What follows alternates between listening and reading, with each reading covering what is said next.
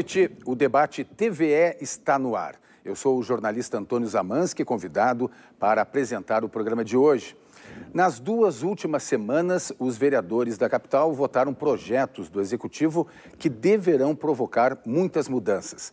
Primeiro, numa sessão tumultuada, foi aprovada a elevação da alíquota de contribuição previdenciária dos municipários. E nesta quarta-feira, por maioria, os parlamentares aprovaram a extinção de 16 secretarias. Como esses projetos vão reduzir o déficit da prefeitura? Assuntos para os nossos convidados desta noite. Recebemos aqui na TVE o vereador do Partido Novo, Felipe Camozato, e também o vereador do Partido dos Trabalhadores, na suplência, com participação nas duas votações, Carlos Comaceto. Este programa está sendo transmitido ao vivo nas redes sociais, no site da TVE e você pode participar pelo nosso WhatsApp, o 984 51 6352. É um prazer recebê-los. Felipe Camossato, Carlos Comaceto, estou no meio de dois italianos do Vêneto aqui para um debate, isso é muito bom. A gente pode agora, com certo distanciamento, já que né, foi na outra semana, que tivemos uma sessão tumultuada na Câmara de Vereadores. Como é que vocês estão enxergando aquele episódio a partir da, dessa perspectiva? Olha, Antônio, primeiramente, então, uh, boa noite a todos os, os, nossos telespectadores, boa noite a ti, ao Comaceto. Eu e o Comaceto tivemos problemas, pelo menos eu tive problemas durante a campanha, porque muitas vezes as pessoas falavam, é Comaceto? Não, não, Comaceto é o do PT, eu sou o Camozato, do Novo. E esses sobrenomes aí nossos provocam confusão, né? Acho que não só problemas, deve ter tido também muitos potenciais, porque é. muitos me disseram que eu votei em ti. Ah, com, ah, Camozato. Eu digo, não, eu sou o Comaceto. Pode ter. Né? É. No final, acho que deu. É, mas, mas falando sobre o que aconteceu lá na Câmara, Sim. na minha opinião, uh, foi uma, uma situação bem complicada, assim, foi uma situação bem grave, inclusive. Ah, eu não lembro, né, com exceção de 2013, onde teve a invasão da Câmara e por vários dias eh, tivemos manifestantes ocupando, ocupando não, invadindo mesmo e morando na Câmara de Vereadores durante alguns dias. Ah, eu não lembro de ter uma invasão de plenário que interrompe uma sessão plenária com representantes eleitos pelo povo de Porto Alegre para votar os assuntos da nossa cidade, ah, no simples intuito de impedi-los de votar porque já tinham sido feitas todas as falas de discussão, já tinham sido feitos os encaminhamentos de voto. Estava no último vereador que estava, uh, que estava inscrito, que era o vereador Cláudio Janta, e ali houve essa interrupção, houveram agressões, tentativas né, de aumentar, inclusive a, a, grande questão que o próprio Simpa colocava, né, é de que haviam espaços nas galerias, porém, por outro lado, a, a Câmara e a mesa diretora da Câmara determinou que não poderia se, se exceder aquele limite de pessoas que o próprio PPCI determina. Então, não pode a Câmara incorrer numa ilegalidade ou permitir mais pessoas. E para a gente, né, para mim, enquanto vereador, é, é, uma, é uma situação bem complicada, porque Uh, independente de qual é a, a posição do, do, do, parlamentar, se ele é favorável a uma pauta ou contrário a uma pauta, nós estamos ali para debater aquele assunto, para julgar o mérito da questão, para colocar nossos pontos de vista, para representar aqueles eleitores que nos elegeram. Né? Então, são, foram quase 30 mil votos do Novo e as pessoas que votaram em mim e votaram no Partido Novo pensam de uma forma A. As pessoas que estavam lá na galeria e que invadiram pensam de uma forma B. Por que, que não pode haver discordância? Sem agressão, sem violência. Então, por isso que eu acho que foi muito grave o que aconteceu.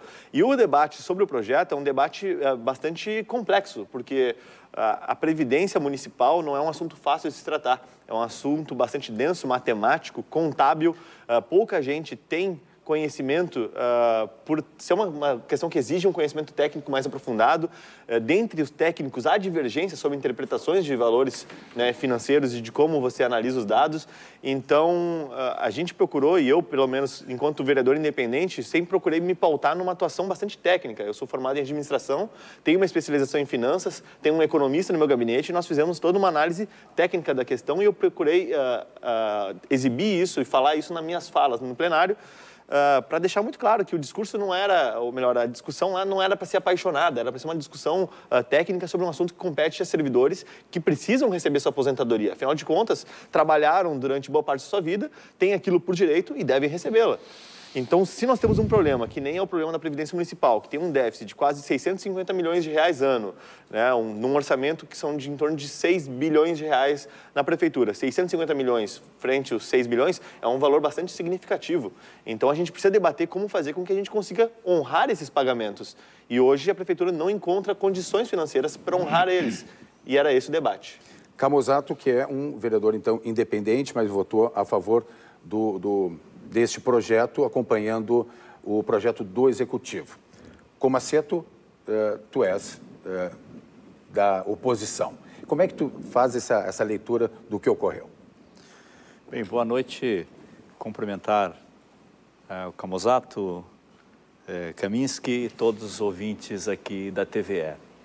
É, primeiro que não dá para pegar um fato pontual e transformar esse fato pontual como a grande centralidade desse debate, que ele é muito maior. Ah, e, bom, e tem uma questão aqui fundamental que nos diferencia aqui ah, de uma visão que traz toda uma discussão da inclusão do social e uma visão que o Camozato representa aqui, defendendo ah, o Estado mínimo conceitualmente. Bom, acho que é importante nós debatermos isso para fazer essa análise.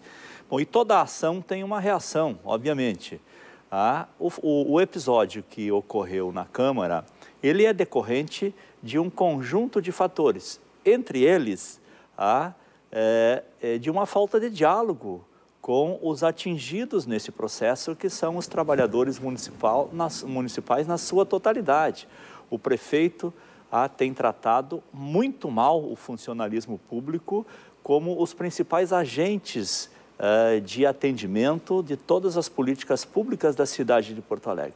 Bom, o Camusato uh, coloca aqui com clareza, não é um tema muito fácil. Bom, se ele não é um tema muito fácil, ele precisa de diálogo.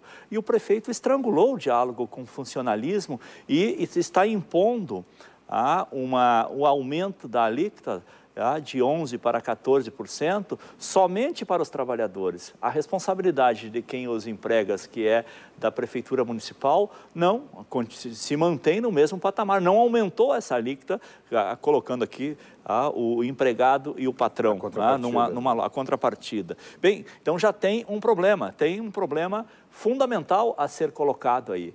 Ah, bom, e aí tem algumas questões é, porque eh, se queremos valorizar o funcionalismo, bom, o funcionalismo precisa ah, ter a tranquilidade para trabalhar e tra trabalhar bem, inclusive de saber como será a sua funcionalidade e a sua vida como funcionário público.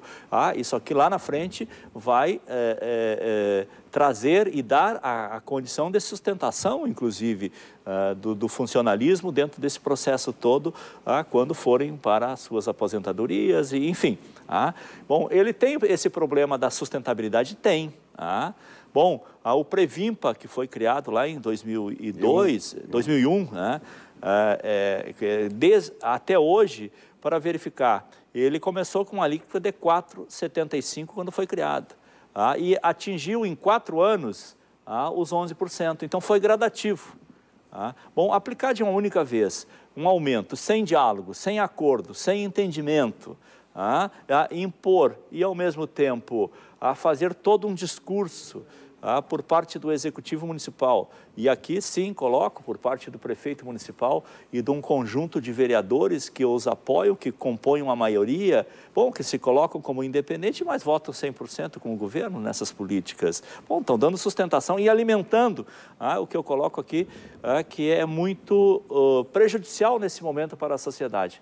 Ah, uma postura de, de ódio nas relações. Isso é muito ruim, ah, isso não, não contribui ah, não contribui. O que, que eh, eu tenho a dizer aqui como um vereador de oposição e que acompanha? Este processo é um processo que começou mal, ah, é, andou mal e poderá terminar mal. Tanto que essa questão está judicializada pelo Simpa. Né?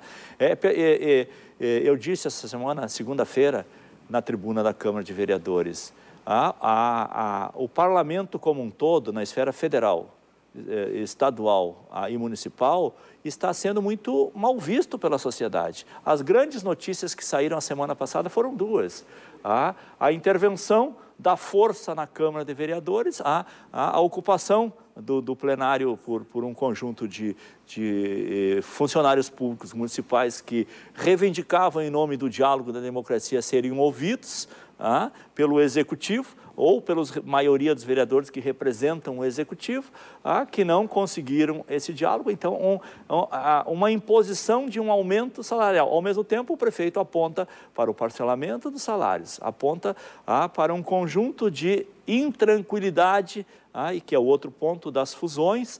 Ah, bom, ah, essa foi uma notícia que circulou. Outra notícia qual foi? Bom, um vereador sai de lá e vem, vai à Secretaria de, de Urbanismo, agride um, um funcionário porque ele criticou, colocou uma crítica uh, àquele vereador ou à sua postura na empresa. Bom, então isso, esses temas são muito, muito ruins para a cidade. Nós precisamos resgatar o diálogo. E rapidamente, para a gente já seguir neste debate, há como reverter, há uma ação por parte do, do sindicato, do SIMPA, vocês acham que tem como reverter essa, esse aumento na alíquota da Previdência?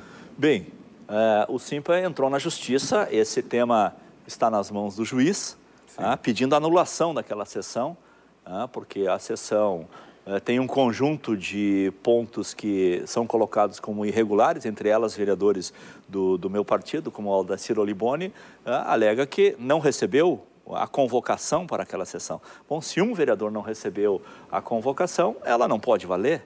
Ah, bom, e também tem o fato que se proibiu ir e vir, ah, inclusive de assessores. A nossa coordenadora de bancada foi impedida de entrar na sala onde estava sendo feito o debate. Seguir, Camozato, é, isso faz parte de um pacote para que visa né, cortes nos gastos públicos, porque a situação financeira realmente é preocupante. Esse, essa medida de ampliação da alíquota pode trazer efeitos, até como administrador também, pode trazer efeitos positivos para a Prefeitura? É, sim, Antônio. Eu, eu, vejo o seguinte, eu acho que é importante pontuar também algumas das posições que o vereador Comaceto uh, colocou aqui, até porque o vereador Comaceto ele não estava uh, em, exercendo o mandato quando foi a votação, até por isso também é, verdade. Uh, é, é, mais difícil de, de, estar a par do que ocorreu, né? eu, enquanto vereador independente, aqui eu não tenho procuração nenhuma para defender o governo, nem, a, nem o Marquesan, nem a, a base do governo, né? Uh, o que eu notei é que, por exemplo, essa alegada falta de diálogo, uh, ela procede de certa forma porque houveram poucos esclarecimentos mais aprofundados sobre o assunto. Porém, por outro lado, a gente teve vários espaços para dialogar e eu, enquanto vereador independente, tentei proporcionar alguns deles. É, eu convoquei aula pública na Câmara de Vereadores, num horário fora do horário comercial, à noite, um dia de semana, para explicar o que, que se tratava. Uh, foram em torno de 20 pessoas uh, prestigiar a aula pública, um pouco mais, talvez 30, 40 pessoas, onde a gente pôde debater esse assunto. Na Comissão de Finanças e Orçamento, onde eu sou vice-presidente, nós tivemos uh, os diretores do Previmpa, recebemos eles, discutimos o assunto também. As comissões, reuniões de comissões, elas são abertas à população, assim como estava aberta a aula pública sobre o tema. A gente teve aí uh, várias sessões em discussão no plenário sobre o assunto, onde também nos debruçamos sobre o tema. Eu pude me manifestar, expus os, os números. Então, uh, essa volta de diálogo, eu acho que, que ela não procede dessa forma como o vereador apresenta e como a oposição tem apresentado, porque eu acho que ela mascara, ou melhor, ela serve de justificativa conveniente para um ato violento. Então, você diz que falta diálogo e, dessa forma, você relativiza uma invasão de plenário e agressão a dois vereadores, que ocorreu naquela, naquela, naquela sessão. Né? Dois vereadores foram agredidos por pessoas que invadiram o plenário. Então, uh, da mesma forma, eu não acho que isso foi uma imposição. Né? A gente conhece o processo democrático brasileiro, a gente sabe como é que se dá as eleições. A pessoa vai lá, escolhe seu candidato, vai no dia da eleição, vota nele, ele representa aí um conjunto de ideias, valores ou projetos daquela pessoa e depois ele vota de acordo com aquelas ideias ou não. Tem muita gente que se elege com uma pauta e depois vai lá e vota em desacordo. Enfim, a questão é, as pessoas participam desse processo político, elegem seus representantes e depois eles votam as matérias.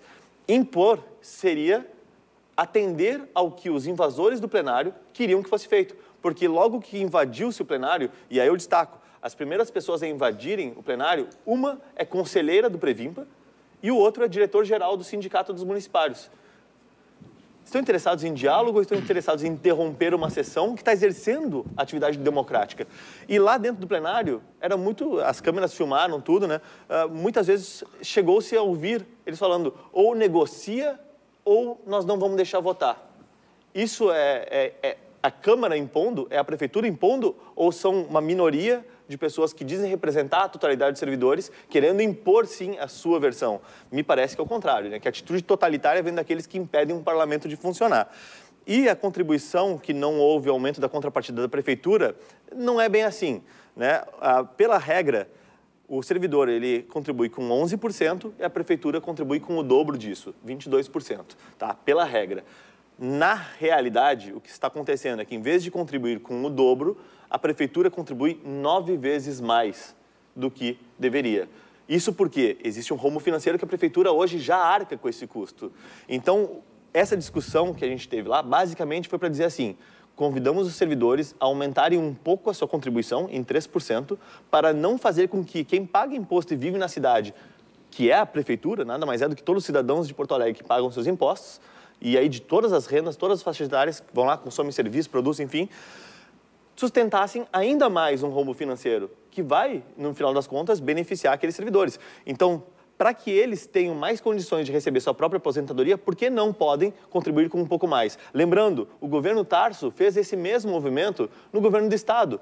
Ele levou de 11 para 16, queria levar de em torno de 10 para 16% de uma só vez. A justiça anulou a decisão e trouxe para 13,25 a própria instituição da alíquota uh, previdenciária no município foi feita num governo do PT. Então é interessante esse discurso de impor, de confisco e tudo mais, temos... quando tem, uh, tem essa. É, é, é, é, evidente, estamos tentando solucionar um problema que existe e não tentando confiscar salário de uma parte ou de outra. Esses 14 é o mesmo percentual hoje do, dos servidores estaduais, né? É estaduais são 13,25%. É um pouco menos. Um pouco, um pouco menos, menos, é. Bom, nós vamos seguir uh, discutindo isso na sequência, mas nós vamos agora para um rápido intervalo e voltamos em seguida com o debate TVE.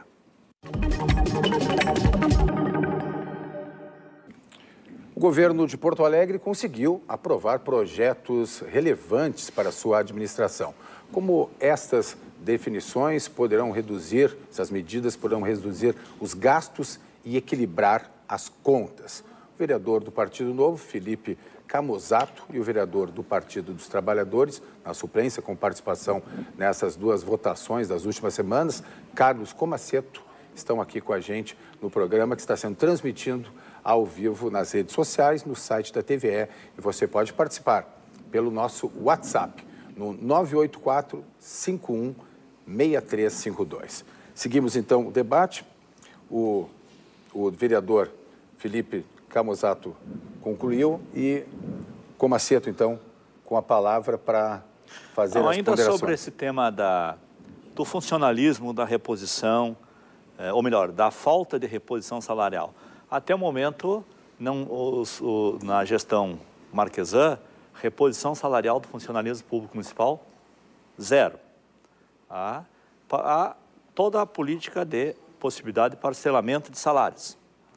Bem, aí o governo propõe o aumento de a contribuição previdenciária. Ah, é, tem um desequilíbrio e ainda aponta para a redução de 3% dos salários do funcionalismo. Bom, é o funcionalismo ou não é o funcionalismo que toca as políticas públicas da cidade de Porto Alegre. Portanto, é o seguinte, ó, é verdade o que o Felipe coloca, esse sistema foi criado lá em 2002 na administração, na gestão do PT, ah, bom, foi concluída a reposição na gestão do Fogaça em 2005, quando chegou a alíquota de 11%. Bom, há uma questão é o seguinte, é, é a, a, a, Câmara de Vereadores e o Executivo fazem leis. Se a lei diz que é o dobro, por que, que tu aumenta essa desigualdade? Ah, 11% para o funcionalismo e mantém ah, a 14% para o funcionalismo e mantém os 22% para o executivo municipal.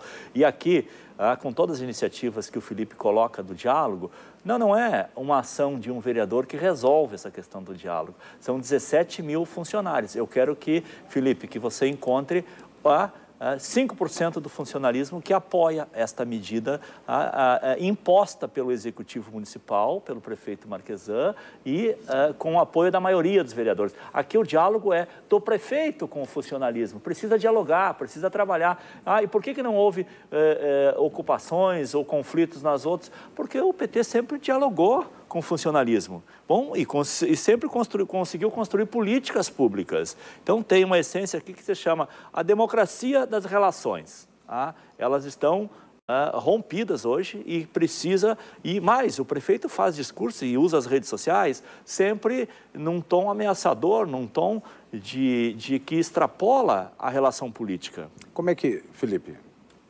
Camozato, como é que tu estás vendo essa relação justamente do prefeito com, não só com a base de apoio, mas também com o conjunto dos vereadores? Olha, uh, o prefeito tem, tem comparecido pouco à Câmara de Vereadores, isso é verdade. Né? Eu não sei aí dizer como ele está se encontrando ou não com os servidores e como é que está se dando esse diálogo, até porque eu não acompanho o dia a dia do prefeito.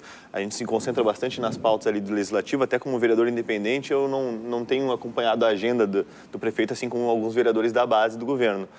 Mas eh, eu acho que, que tem um fundo aí que é importante se considerar e que o vereador Comaceto coloca que é importante que o governo uh, ouça e, e pratique, que é, realmente, se a gente houvesse aí uma iniciativa mais profunda de uh, explicação da situação por parte do governo, né, do secretário, uh, da, eventualmente até de, de, alguns secretários, irem falar com os servidores a respeito de como é uh, importante essas soluções que estão sendo propostas, talvez se tivesse aí um pouco mais de claridade sobre o tema. Porque é interessante notar, durante a invasão do plenário, ah, a gente ficou aí, não, minto, antes da invasão do plenário, houve uma suspensão da sessão por algum tempo e eu comecei a fazer uma, uma live, uma ao vivo no meu Facebook Sim. e comecei a conversar com as pessoas que ali estavam. Conversei com vereadores do PSOL, do PT, do PMDB e também com o público presente, né, composto em sua maioria por servidores do município. E aí, durante a minha conversa, a gente foi questionando, né, eu abri espaço para que eles pudessem colocar as suas, né, suas angústias, uh, que eu colocasse meu ponto de vista, que a gente dialogasse. Não teve nada, né, nada de agressivo né, super uh, bem respeitador e está lá na minha página publicado. A maioria dos servidores com os quais eu conversei não estavam plenamente informados do que se tratava o projeto, justamente pela densidade do conteúdo. Mas todos sabiam que teriam um desconto a mais no seu salário. Não, é, então esse é o elemento central. Evidentemente, isso, isso não é, e é aí que está, em nenhum momento eu digo que isso não é uma verdade, porque de fato isso é o produto do, do projeto. Né? Uhum. Agora, eles estavam, muitos estavam desconhecedores do problema financeiro, de quanto isso impactaria, que existem dois sistemas previdenciários em Porto Alegre, um que vigorou até 2001, que é o regime anterior. Ah, isso que eu queria que tu esclarecesse. É. São dois regimes, né? São dois regimes. Então, até 2001, o, o, regime que vigorou de previdência, ele não exigia nenhuma contrapartida dos servidores. Os servidores poderiam se aposentar recebendo seu salário integral uh, e isso, obviamente, né, é onde está a maior parte dos servidores. Né? Temos nesse modelo 13.774 inativos para 9.301 ativos. Ou seja, um modelo claramente desequilibrado, tem muito mais inativos do que ativos. Chamado sistema de repartição simples. Chamado de, exatamente, repartição simples. O que exige que, uma vez que tu não tem trabalhadores nativos em número suficiente para conseguir uh, custear aqueles inativos, ele se torna deficitário. Então, este é o modelo até 2001. Atuarial. Cálculo atuarial simples, né? E se fala muito... Exatamente. A partir de 2001, com a, com a introdução do Previmpa, então a gente começou ali com uma alíquota de 4,25% e ela foi se escalando até chegarmos aos 11% que estavam até poucos dias atrás. A gente teve aí essa nova modalidade, onde os servidores, eles não mais dependem de quem está nativa para receberem sua aposentadoria, mas sim eles contribuem e o dinheiro que eles contribuem vai para um fundo, onde fica ali depositado, vai rendendo ao longo dos anos que, e no futuro que tem eles vão 1 bilhão receber. e 400 milhões o fundo de capitalização do Previmpa. O fundo de capitalização, que está com ele é líquido, ele é bom, o modelo é saudável. O modelo a partir de, de 2001 é um modelo que deveria ser todo ele deveria Criado ser esse modelo. PT. Bom, é, é um sistema Exa que... Exato, é o um modelo correto. Só que o problema é que uma vez que tem um rombo anterior, tu precisa tratar desse rombo anterior. Então, uhum. esses 30 milhões, que é o impacto financeiro dessa medida, ele serve para quê? Para que você consiga ajudar a solidariamente resolver, resolver não, mas amenizar esse problema e consiga usar essa verba, inclusive, para que os servidores continuem tendo condições de receber então, esses veja valores. Só, veja só, a maioria dos servidores que estão na ativa hoje ah, sustentam o seu sistema, é autossustentável. Ah, e, e os que, os que a grande maioria que se aposentou, ou, ou os anteriores de 2001, Bom, este sim tem um déficit. Então, a responsabilidade não pode ser da maioria, só da maioria dos servidores. Tem que também ser do executivo. Essa é uma Mas das quando questões. o executivo essa é uma das questões que, mas é, aqui nós estamos tratando de lei, de legislação. Bom, a lei é maior do que um ato administrativo. Bom, portanto, a lei tem que persistir a solução também na responsabilidade do executivo. Mas a responsabilidade do executivo, vereador, ela já está colocada quando o executivo coloca nove vezes mais do que deveria pela regra. Então, você quer que além dos nove vezes mais que ele já coloca, e vamos abstrair, o executivo não é um marquesan, não são os vereadores da base, a prefeitura nada mais é do que todos os cidadãos de Porto Alegre. São 1,2, 1,5 milhões de pessoas. Essas pessoas já são solidárias com os 30 mil servidores, a partir do momento que elas pagam nove vezes mais do que deveriam pelo, pela previdência daqueles servidores. Por que, que elas deveriam ser convidadas a contribuir um pouco mais ainda para que os servidores não aumentassem um pouco sua contribuição? É, esse foi o debate. E é preciso claro, deixar isso claro. Claro, mas qual e o modelo foi a única novo, alternativa que o prefeito o modelo apresentou? Novo, me desculpa, a única alternativa? O modelo novo, previno para capitalizado, ele ainda é muito pequeno. Nós temos ali em torno de 7, 7 mil funcionários. Então, ele ainda significa muito pouco perto do montante total, já que no outro a gente tem mais de 20 mil para dar uma noção do, do, da falta de equilíbrio que existe nesse modelo e quão grave é isso para a cidade de Porto Alegre. Por isso que é um debate que precisava ser aprofundado e técnico. E quando a gente vai para o discurso apaixonado, para a invasão de plenária, etc., a gente perde a condição de analisar o que realmente precisa ser analisado e ver o que é melhor para as pessoas.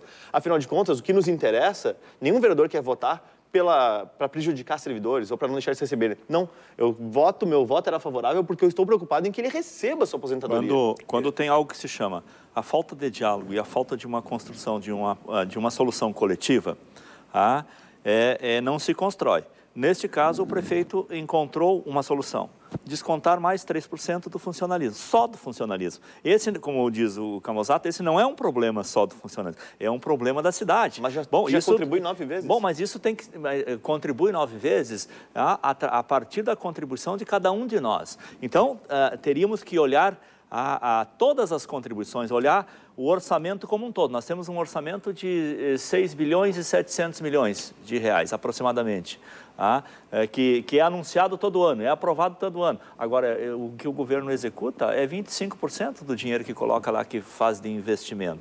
Então, tem, tem um conjunto de outras falhas no processo orçamentário que ele tem que ser analisado num todo, para poder também enfrentar o problema deficitário. Nós teríamos, do... a questão é, nós teríamos, nós estamos vendo duas opções né, e foi colocada a elevação da alíquota.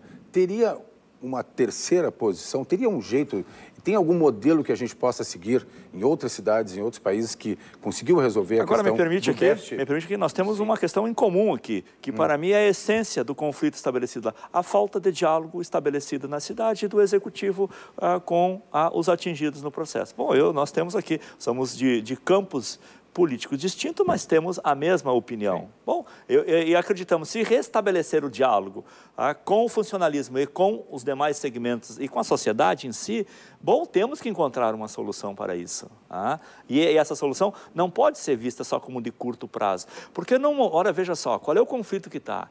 No momento em que se congela ah, o salário dos servidores públicos, ah, no momento que ah, ah, se parcela salários, no momento que não tem uma perspectiva de aumentar, ainda se subtrai 3%, é óbvio que tem que ter tem uma reação do funcionalismo. Bom, e não tem diálogo, então é uma medida impositiva. Quando estamos falando de diálogo, debate, é o que nós estamos tentando e proporcionando, e tenho certeza que estamos fazendo aqui nesta noite. Sem dúvida, sem dúvida, sem dúvida. E aqui é, é noutra esfera, né? É, que esfera, beleza. Ah. Camusato, então, é, falando dessas alternativas, nós temos, até pela, pela tua experiência, não só como vereador, como administrador, Sim. tem como buscar uma alternativa? As pessoas, de repente, estão se perguntando sobre isso.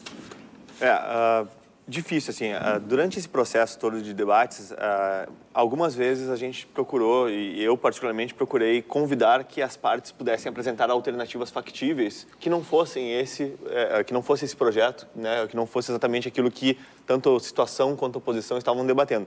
Porque, afinal de contas, não interessa a ninguém ali, nem aos vereadores que votaram a favor, nem os contrários, e tampouco aos servidores, que tu, né, aumente a alíquota previdenciária para um lado, que tu não resolva o problema da previdência por outro, porque tem, tem que ser falado, né? São 650 milhões de reais de déficit previdenciário, esses 30 milhões de reais, que é o impacto dessa medida, ele não resolve o problema dos 650 milhões. Ele é, um, ele é uma fração é do problema. Então, como é que tu muda isso? Esse modelo novo previdenciário, ele já é bem mais saudável, mais salutar. Então, quando tu tem um fundo onde as pessoas depositam nesse fundo, esse fundo é gerido profissionalmente, é auditado, né? Uh, tu, tu consegue permitir que aquele trabalhador ele consiga ter uma garantia de recebimento futuro.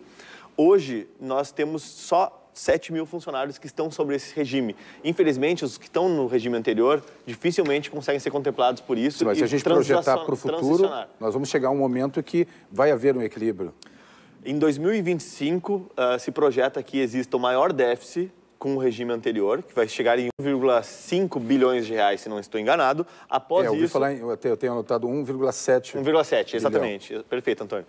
E após isso, ah, conforme essas pessoas também vão envelhecendo, muitos acabam falecendo e o sistema não tem novos entrantes, então acaba se ajustando isso lá por 2080, se não estou enganado, 2070 por aí.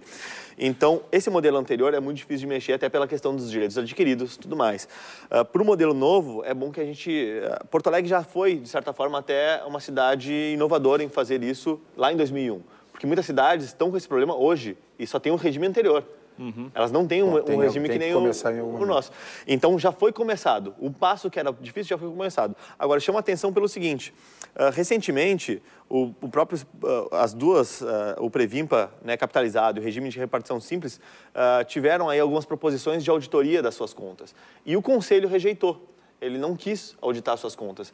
E aí eu, eu me estranha isso, né? Porque o que deveria ser de interesse dos servidores, de saber se aquelas contas estão sendo bem utilizadas, se aquele recurso está sendo empregado a quem de fato deveria recebê-los, uh, por que não auditar essas contas? Porque, porque a presidente do conselho foi contrária a isso. Então, isso me causa estranheza. Deveria sim poder se auditar e, e ainda... Uh, Existem, alguns outras, eh, existem algumas outras medidas, é difícil dizer que algumas delas não causariam algum prejuízo para o servidor, que seriam instituir alguma cobrança para aqueles que estão na repartição antiga, ganhando seu salário da integralidade acima do teto do INSS. Eh, essa é uma medida que também seria impopular, porque aquelas pessoas, claro, receb... né, trabalharam, receberam de acordo com aquele contrato e agora mudariam isso. Então, é um, é um tema bastante complicado e é um problema para ser resolvido.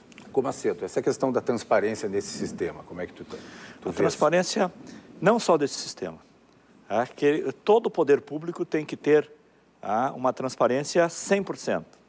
É, e aí tem, nós temos um problema muito grande, muito grave, que é, no nosso ponto de vista da oposição, inclusive a reforma que propôs o Marquesan com extinguindo e criando outras secretarias, traz um conjunto. E eu discuti com o Felipe eh, eh, ontem, antes de ontem, lá na Câmara, ah, um, um dos problemas que criou a Secretaria de Transparência.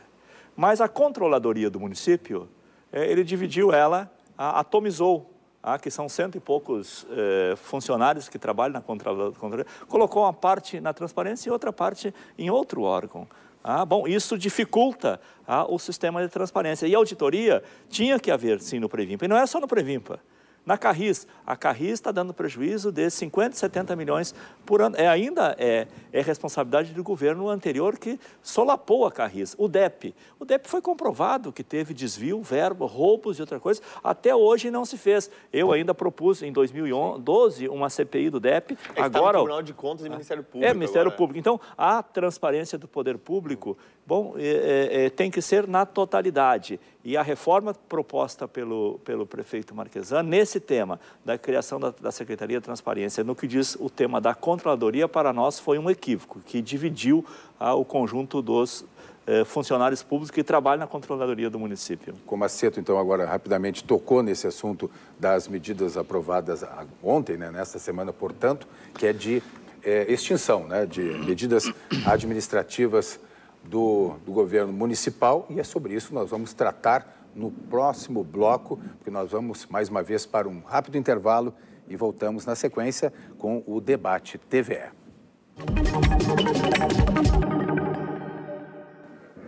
A política municipal de Porto Alegre em destaque no programa desta noite. Assuntos para os nossos convidados que nós estamos recebendo aqui na TVE. O vereador do Partido Novo, Felipe Camozato, e o vereador do Partido dos Trabalhadores na suplência, como já falei, com participação nas votações das últimas semanas, Carlos Comaceto.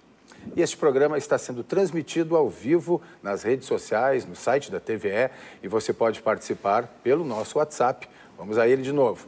984, de novo, 984 516352.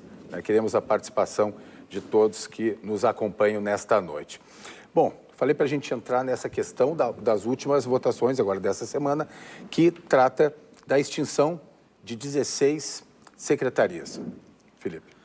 É, eu acho que isso, isso foi uma promessa do, do próprio Marquesan enquanto candidato, né? reduzir a estrutura de secretarias, né? diminuir o número de secretarias, diminuir o número de secretários, de adjuntos, uh, concentrar um pouco mais a gestão do município de Porto Alegre. Na minha opinião, uma decisão acertada de se reduzir esse quadro de secretarias, uma vez que qualquer gestor né, que está à frente de um grande número de pastas, ele não consegue ter com seus pares tudo aquilo que deveria se discutir e aprofundar.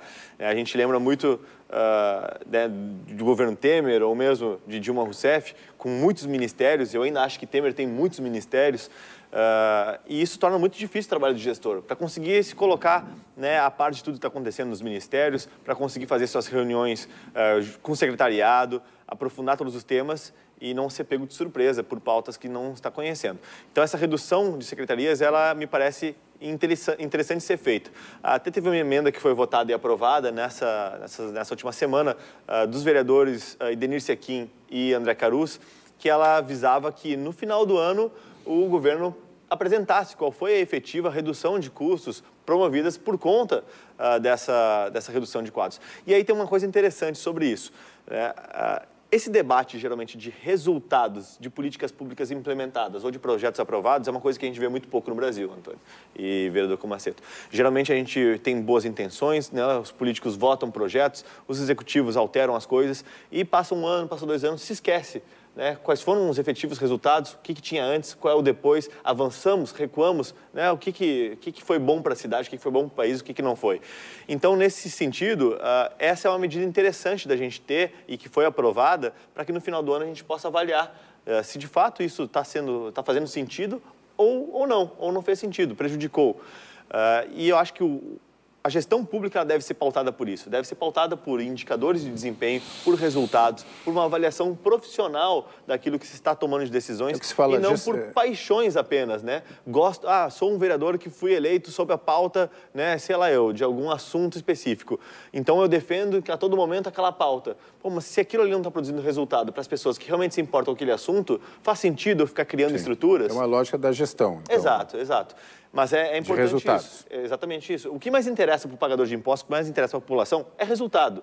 Para a população, pouco interessa se são 30, 20, 15, 5 secretarias. Contanto que o posto de saúde funcione, né, as ruas estejam bem pavimentadas, exista segurança nas ruas, tenha iluminação, os serviços públicos funcionem, não interessa qual é o modelo de gestão.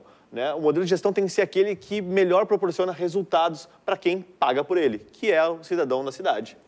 Como acerto, tua posição a respeito dessa medida de extinção das secretarias e essa importância de, depois desse ato, né, dessas mudanças, ter esse acompanhamento para ver se, ter, se, nós estamos tendo resultados aqui em Porto Eu quero aproveitar aqui e fazer uma pequena retro, retrospectiva.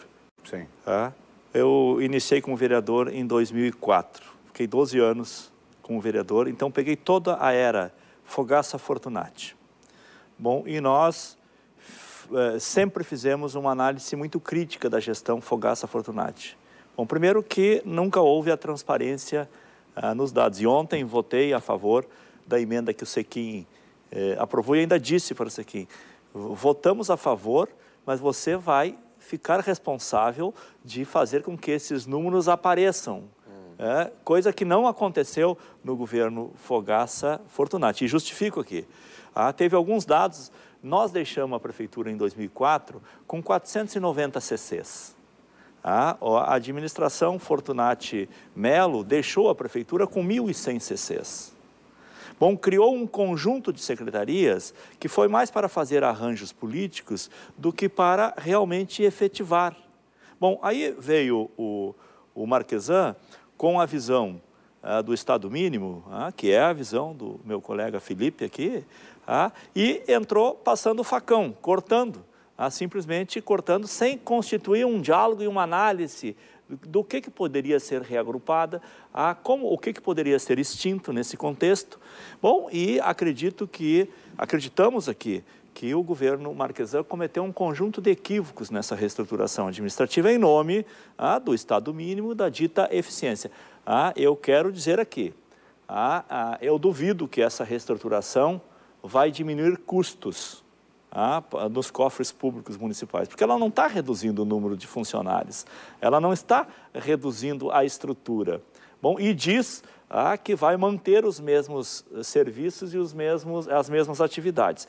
Agora, teve algumas secretarias que simplesmente elas foram cometido um grande equívoco. Por exemplo, Secretaria de Esportes, uma secretaria pequena, enxuta, que trabalha principalmente com a periferia, ah, com as crianças ah, no contraturno, com atividade no resgate social, trabalha com os idosos nos centros, eh, eh, nos centros eh, esportivos, é, bom, que tem todo um trabalho, tem todo um, um, um know-how, um acúmulo existente, ah, que não se justificava é, é, simplesmente extinguir ou repassar para uma super secretaria, aonde veio direitos humanos, onde foi esporte, aonde foi a questão da mulher, do negro, do índio. Bom, Nesse caso, vira um, um departamento dentro É, da... dentro de um departamento, mas uma super secretaria, que a secretária Paludo, bom, como se fosse é, resolver. Bom, então isso não é o cargo de um secretário ou dois secretários, ah, mas é a qual é, qual é o resultado que ela traz para, para a sociedade? Bom, aí tem outras.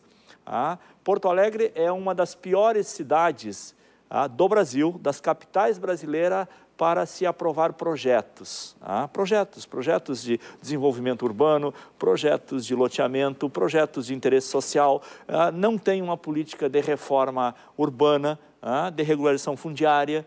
Bom, e esses conflitos permanecem. Ah, permanece. A reestruturação administrativa, que teria que ter sido feita com um diálogo muito maior com a sociedade, era identificar quais são as políticas que estão deficitárias e como é que nós fazemos para corrigir. Bom, e eu digo isto porque é o seguinte, ó, nós aprovamos, um, um, nós aprovamos há anos atrás a reestruturação onde se criou o, o, o, o Inova Poa que era para aprovar projetos. A estrutura foi montada, a estrutura legal foi montada. Lá tem a CETAPS, a CADAPS, onde tem engenheiros, arquitetos. Bom, mas foi montada, mas a gestão não mudou. Ah, não permitiu com que aquela estrutura, uma mesa que nem essa, onde todos os técnicos pudessem sentar ali e ficar ali permanentemente, em serem apoiados para isso. Chegava um projeto ah, de um determinado loteamento da cidade, a análise em conjunto, cada um dava o parecer, debatia, discutia, buscava informação, chamava ah, os arquitetos, os engenheiros, aprovava em 90 dias, como a maioria das capitais aprova. Aqui leva, sabe quantos anos? Dois anos, três anos, quatro anos, cinco anos. E a reestruturação apontada não aponta para estas soluções. Ah, bom, e aí eu, eu, eu até como engenheiro, e ontem tinha lá, ontem não, quarta-feira, um conjunto de engenheiros e arquitetos lá, mas do DEP, Departamento de Esgoto Pluvial, que foi extinto. Ah, bom, tá bem, ah, aí o que, que foi? Não, o problema foi, vamos levar para a Secretaria de Obras. Foi para uma parte para a Secretaria de Obras, outra parte para a Secretaria de Serviços. Bom, dividiu. Bom, e o DEP tem um trabalho fantástico, constituiu ah, é, o primeiro plano diretor de plano diretor hidrológico das capitais brasileiras é de Porto Alegre, feito pelo DEP pelos técnicos. Bom, teve problemas de gestão no DEP, de desvio de recurso, a imprensa apontou ah, que lá contratava as empresas, limpava uma boca de lobo aqui, pulava 50, limpava outra, apresentava a conta e, co e cobrava e pagavam. Bom, tem que responsabilizar esses gestores que não são funcionários, eram cargos políticos ali existentes. Então, a, a, eu concluo esse bloco aqui da minha, com uma fala, a, a gestão, a reforma que foi feita foi sem um diálogo com a cidade, com a... Uh, também, nós voltamos ao velho problema aqui.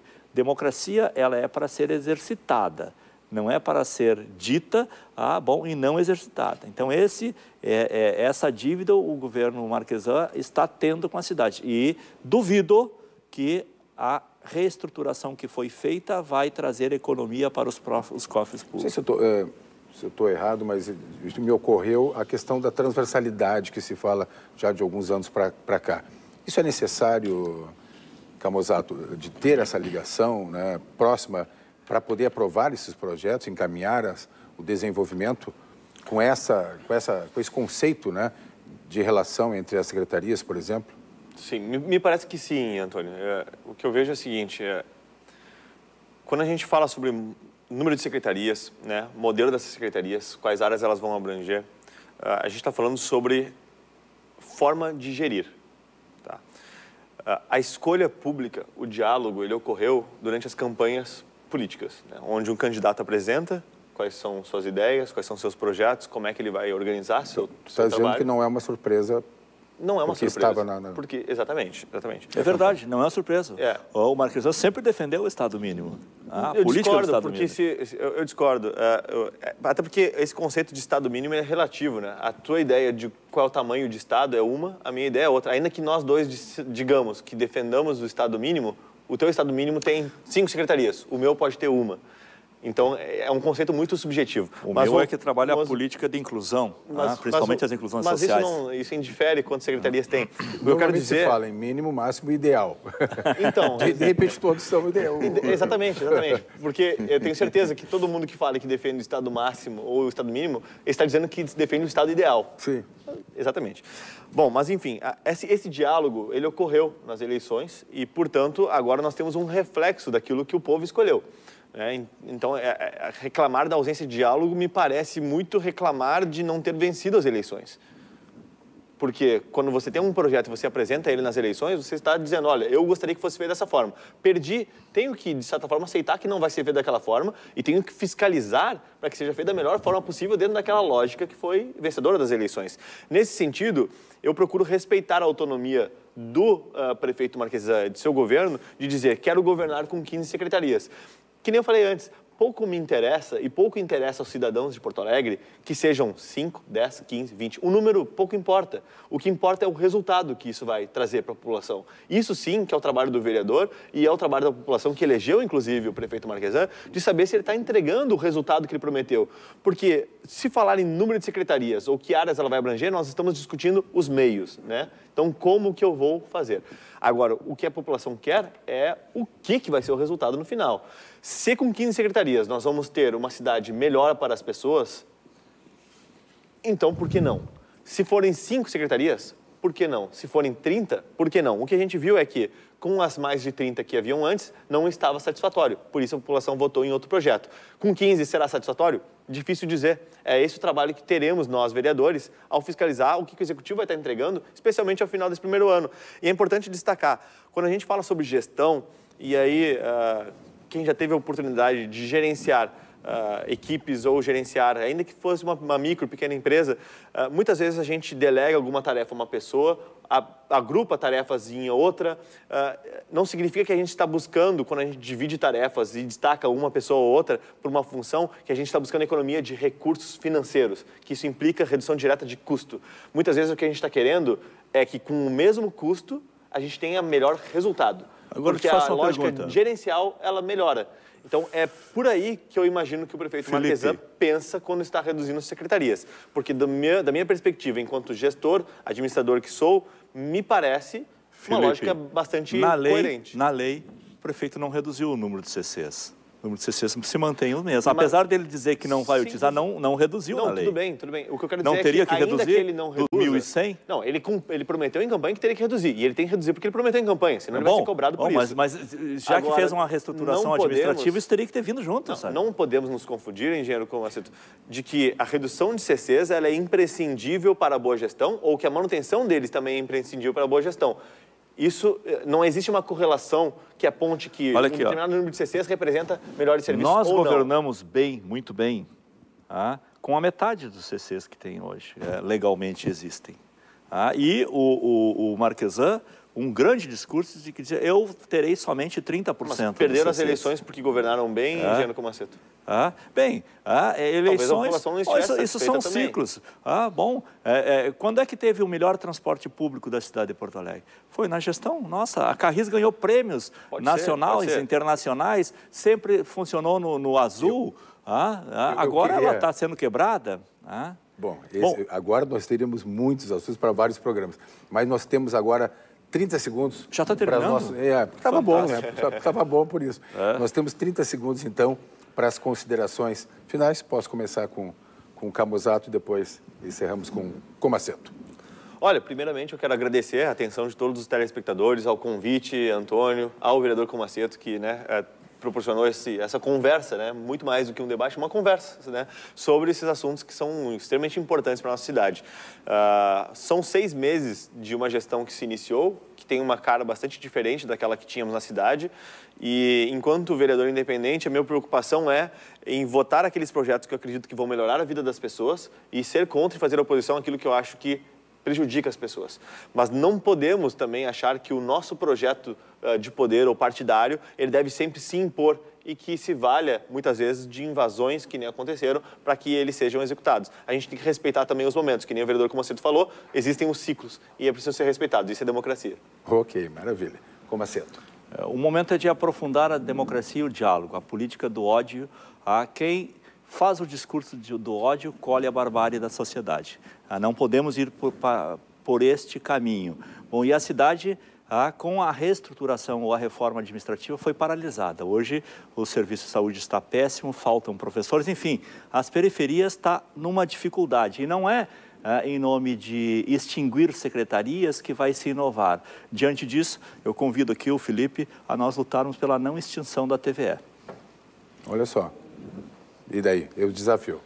Não, ainda bem que não é pauta do município, daí não precisa discutir isso mais a fundo. Mas é de uma visão política que não é diferente é. da que está sendo colocada no município. Camozato, quero te agradecer. Felipe Camozato, vereador, Partido Novo. Comaceto, Carlos Comaceto. Muito obrigado. Obrigado pela participação. Agradecemos. Aqui no nosso programa. E vinda longa TVE, né? Para voltarmos vamos aqui. Vamos lá, vamos lá. Nossa grande TV educativa. Eu quero então agradecendo aos nossos convidados e falando que a seguir nós teremos então o Jornal da Cultura.